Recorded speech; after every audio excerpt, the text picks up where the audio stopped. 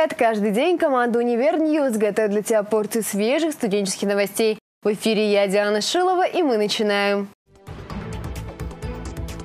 Почему молодые люди уезжают из Татарстана? Япония готова заключить мирный договор с Россией после решения территориального вопроса. Ученым КФУ удалось получить стабильное при комнатной температуре гамма-железа. В шоуруме Высшей школы журналистики и медиакоммуникации Казанского федерального университета говорили о том, почему молодые люди уезжают из Татарстана, какие условия нужно создать для молодежи. Подробности в сюжете. Площадка по реализации общественных проектов в Татарстане, карта инициатив и Центр стратегических исследований «Платформа-21» обсудили актуальные темы развития Татарстана. Волнующие многих студентов вопросы – уезжать или оставаться, где жить и работать. Обо всем этом говорили в шоуруме Высшей школы журналистики и медиакоммуникации Казанского федерального университета. В дискуссии приняли участие представители государственной власти, экспертного сообщества и бизнеса. И мы должны быть способны предложить молодому человеку комплекс, ну, если позволите так сказать, сервисов, которые бы позволили ему реализовать свой потенциал. Потенциал э, профессиональный, самореализации творческой, инновационной, заниматься любимым делом, реализовывать себя. Как оказалось, основной пик миграции молодежи приходится на возраст от 17 до 19 лет, как раз в период поступления в высшее учебное заведение. Тенденция переезда в крупные города наблюдается и у молодежи постарше. За последний год только, да, порядка 118 тысяч, э, это люди до 35 лет со всей России указали в своих резюме, что они хотели бы э, переехать в Москву. Сформулированные здесь идеи будут размещены на площадке карты инициатив для широкого общественного обсуждения. Главные же рекомендации поступят в органы государственной власти региона. Анна Глазунова, Леонард Валетьяров, Univer News. Последние два года Россия и Япония наращивают сотрудничество. Готовы ли стороны к подписанию мирного соглашения? Или спор вокруг Курильских островов так и будет препятствовать международных отношениях? Расскажем в нашем сюжете. Премьер-министр Японии Синзо Абе заявил, что готов заключить мирный договор с Россией после решения территориального вопроса. Спор о принадлежности Курильских островов Итуруп, Кунашир, Шикотан и группы островов Хабомаи остается нерешенным уже 70 лет. По словам премьер-министра Японии, договоренности с Россией, достигнутые в 2016 году, постепенно исполняются. Страны ведут совместную хозяйственную деятельность на островах, а бывшие жители могут посещать места захоронения предков. Конечно, обе стороны будут придерживаться своих позиций, но жизнь берет свое, и вот экономическое сотрудничество идет полным ходом. Если так пойдет дальше, то острова перестанут быть таким барьером разделяющим, а станут а, мостом, который нас соединяет. Всегда можно найти какую-то форму дополнительного соглашения о совместном использовании островов, но без пересмотра итогов Второй мировой. В сентябре в ходе проведения Восточного экономического форума президент России предложил заключить мирный договор между двумя государствами до конца 2018 года без предварительных условий. Японские власти отказались от предложения до решения вопроса по территории. Несмотря на спорную ситуацию взаимодействия, необходимо обеим странам. Сейчас у нас могут быть новые санкции. В ноябре нам Соединенные Штаты угрожают очередной порцией. И вот в этих условиях, конечно, нужны сильные экономические партнеры, которые могут э, и инвестиции свои вкладывать в нашу экономику. А мы, соответственно, Японии нужны после Фукусимской аварии, и особенно сейчас нужны энергоресурсы, которых у нее собственных нет, и российские были бы очень удобным дополнением к тому, что она привозит с Ближнего Востока.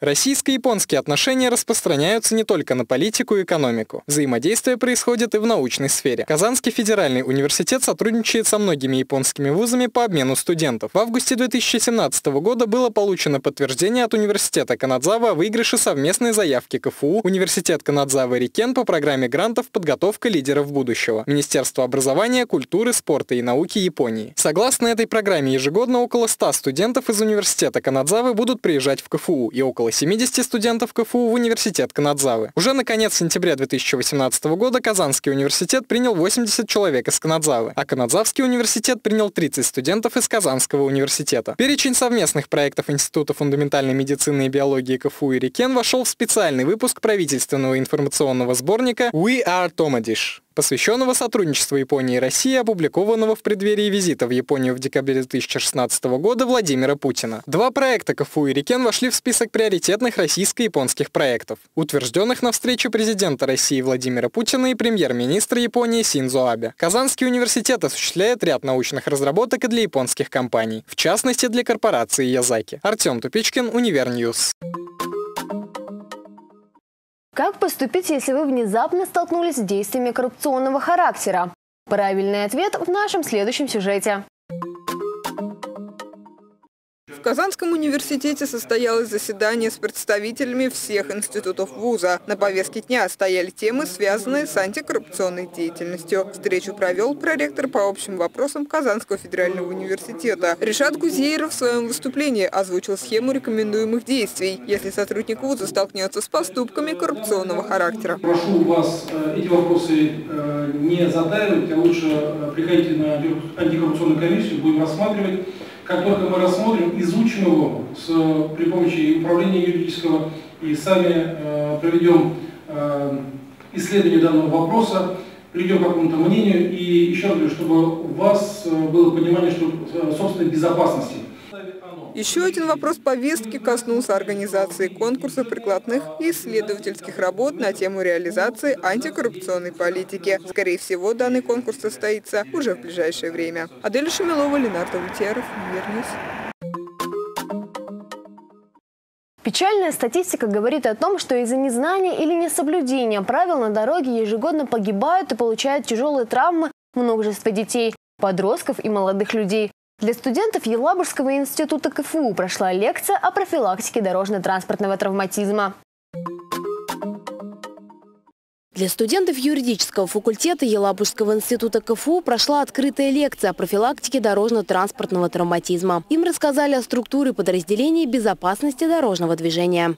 Мы обсуждали со студентами, как нужно управлять автомобилем, какие нужно знать правила необходимые дорожного движения, те правила для пешеходов, именно вот в темное время суток, что нужно использовать это световозвращающие элементы, да, как нужно переходить проезжую часть. Студенты просмотрели обучающее видео, а также задали интересующие вопросы о сдаче экзаменов на водительское удостоверение. В завершении мероприятия лектор поделилась интернет-ресурсами, где можно познакомиться с актуальной информацией. Анна Глазунова, Сирена Иванова, Айдар Нурмиев, Univer News. 25 октября в Химическом институте имени Бутерова КФУ прошла учебная эвакуация для студентов и сотрудников вуза. Об этом наш следующий сюжет.